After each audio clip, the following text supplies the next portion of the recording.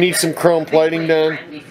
Man, we sure do a lot of bumpers every week. You need something done, looks this nice? We have two types of chrome work. Street chrome, 90% of the stuff we do street chrome, and this stuff is uh, extraordinarily nice. I think you'll agree. My friends, it's very difficult to find a chrome shop that does this kind of work.